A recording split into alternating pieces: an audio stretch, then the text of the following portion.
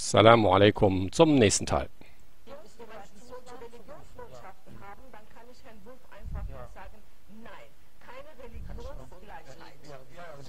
Keine Religionsgleichheit ist natürlich verfassungsfeindlich und ich wundere mich, äh, dass auch ein, ein, ein Kerner hier auch, aber gut, man, man kann sich auch vorstellen, warum. Das ist natürlich auch Inkompetenz.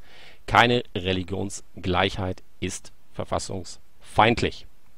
Denn es gilt ganz klar im Grundgesetz in der Präambel, dass unabhängig von Religion und Herkunft alle Menschen vor dem Gesetz gleich sind.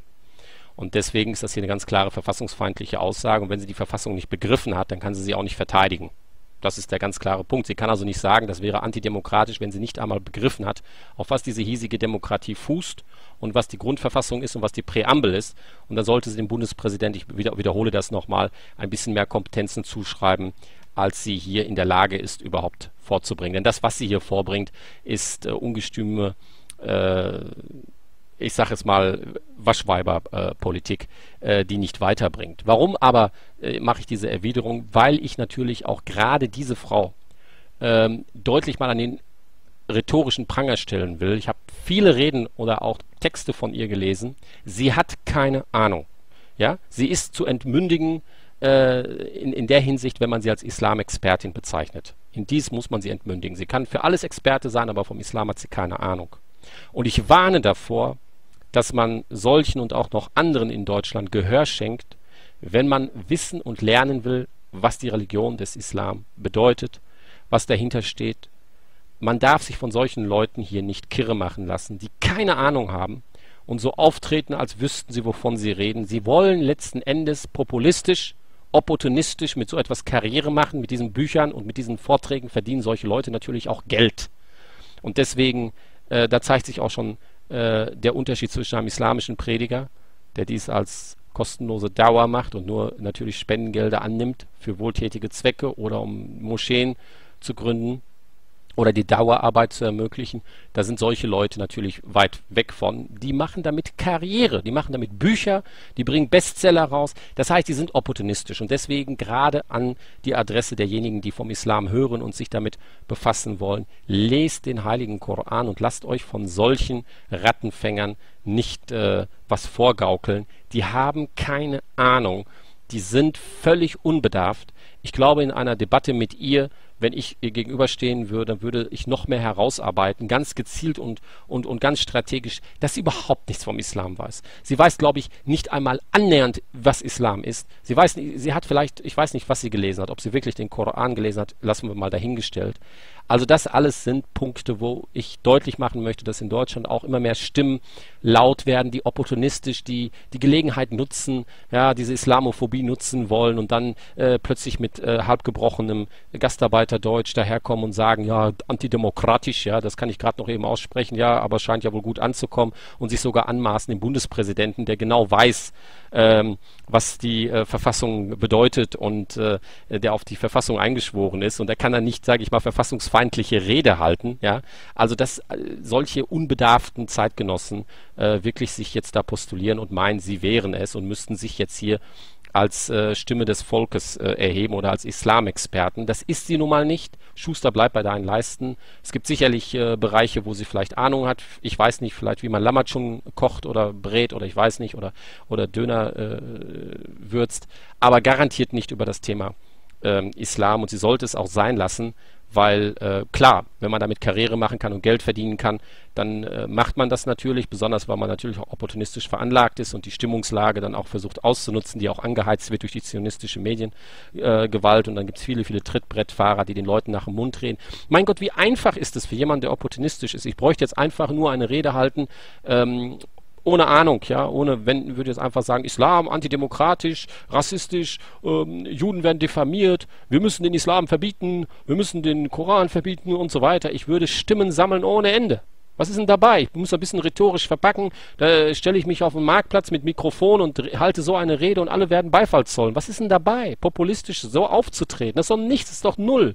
Das ist doch letzten Endes nichts anderes, als zu versuchen, äh, einfach mit dem Trend mitzuschwimmen und sich dann sogar noch als Vorredner emporzuschwingen, der man einfach nicht ist.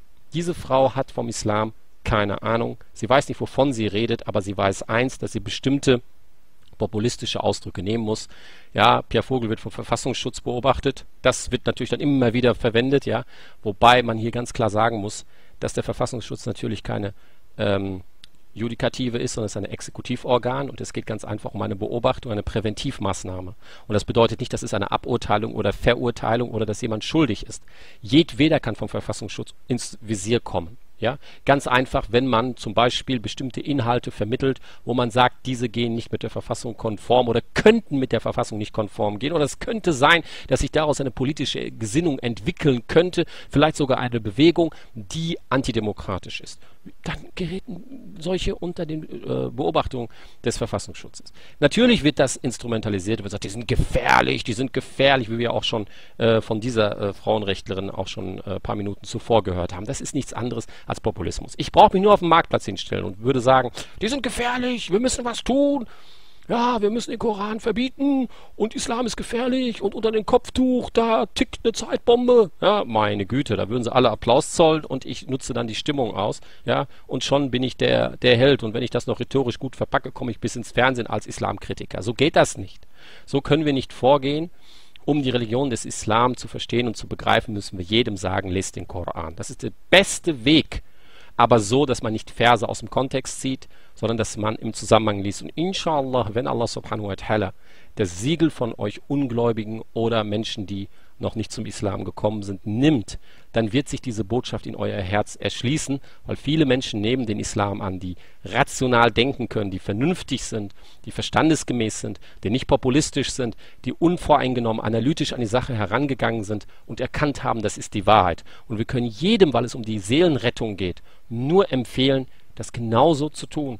Wenn es dann nicht dazu kommt, dass ihr den Islam annehmt, dann wisset, wenn Allah subhanahu wa ta'ala es nicht will, dann wird es auch nicht dazu kommen. Also strengt euch an, damit ihr diesen Zustand erreicht, inshallah, den Islam anzunehmen. Das ist das, was wir euch sagen. Und lasst euch nicht von diesen Rattenfängern, die keine Ahnung haben, irgendetwas vormachen von äh, Schlagbegriffen, Gefahr, Verfassungsschutz, gefährlich, antidemokratisch, Steinigung, immer die gleichen Begriffe, die nur instrumentalisiert werden, um die Menschen von der Wahrheit abzuhalten und das im Dienste des Satans, der die Menschen von der Wahrheit fernhalten möchte, damit diese Menschen mit ihm in die Hölle gehen.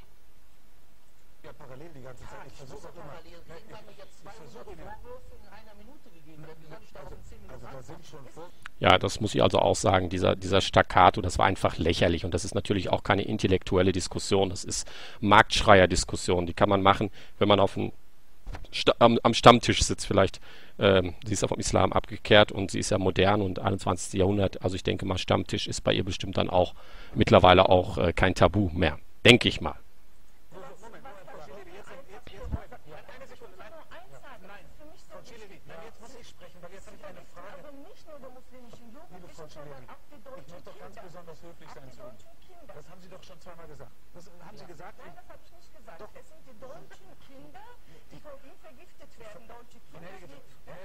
Deutsche Kinder, die vergiftet deutsche Kinder, also das ist, das ist, was haben wir hier? Wir haben hier Marktschreier-Mentalität.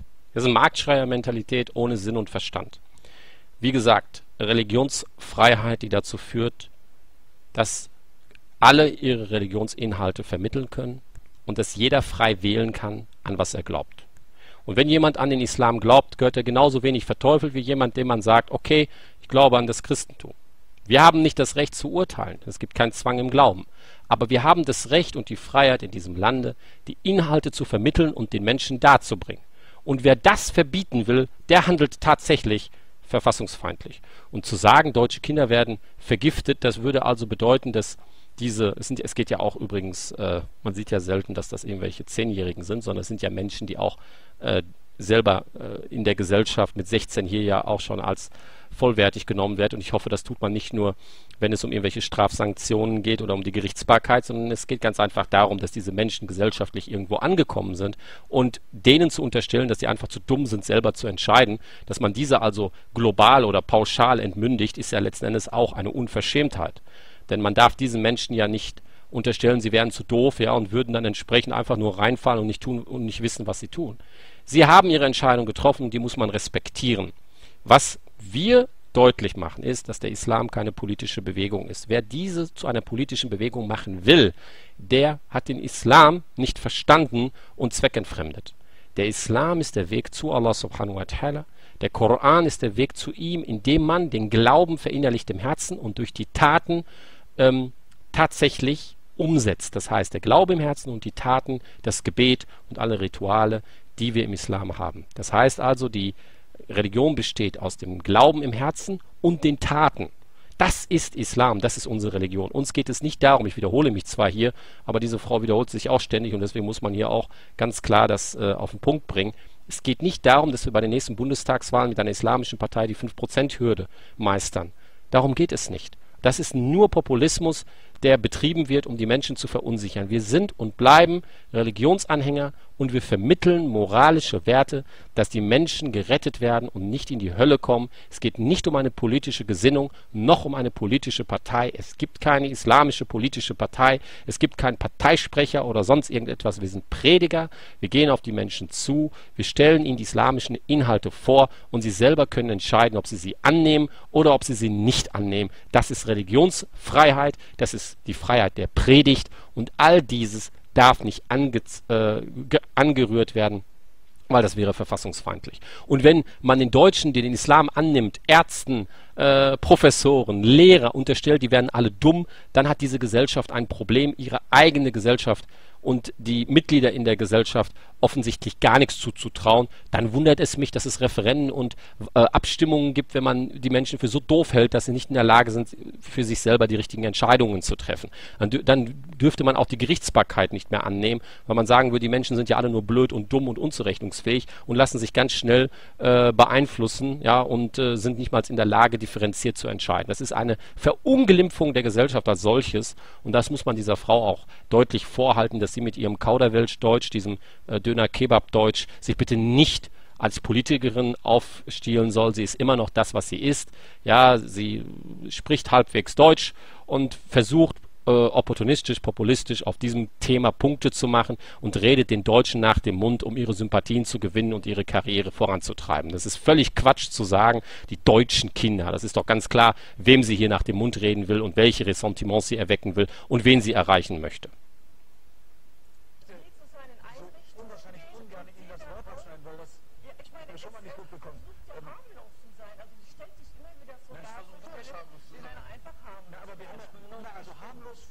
Stellt sich immer dar, als wenn er harmlos wäre.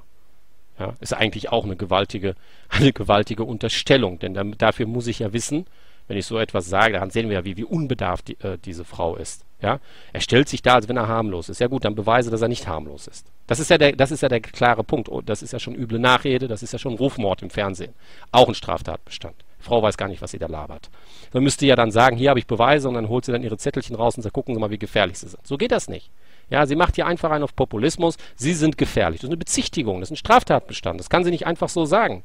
Ja, dann könnte er sofort mit einer Anzeige äh, wegen Rufmord gegen sie vorgehen. Ja, kann ich einfach die Schnauze aufmachen, wie sie es mal gerade will. Wie gesagt, das geht so nicht. Noch leben wir in einem Rechtsstaat und muss man sich auch, wenn man im Fernsehen ist, wissen, wie man sich gibt und nicht einfach meinen, ich mache jetzt einfach mal und, und gib Gas, ja, und versuche jetzt bei den Deutschen gut anzukommen und bei denen jetzt so richtig in den Hintern reinzukriechen, indem ich genau das sage, äh, was sie gerne hören. Vielleicht mache ich damit ja dann noch weiter Karriere und meine Veranstaltungen und Versammlungen werden gut besucht, weil die dann alle sagen, ich bin ein Fürsprecher für die Deutschen. So geht das nicht, ja. Wir brauchen nicht die Opportunisten, das habe ich auch schon in einem anderen Video gesagt, sondern wir brauchen die Leute, die nicht lügen, sondern die die Wahrheit sagen und die begreifen, was der kulturelle Umgang mit den verschiedenen Kulturen und Religionen bedeutet und was das bedeutet, was in der Präambel der Verfassung zugrunde gelegt ist, die Religionsfreiheit und die Religionsgleichheit, die Sie hier in, diesem, äh, in dieser Sendung sogar bestreiten wollt. Und das ist verfassungsfeindlich. Äh, Verfassungsschutz mit derartigen verfassungsfeindlichen Äußerungen gehörte sie normalerweise unter Beobachtung. Ja, so sehen die Dinge aus.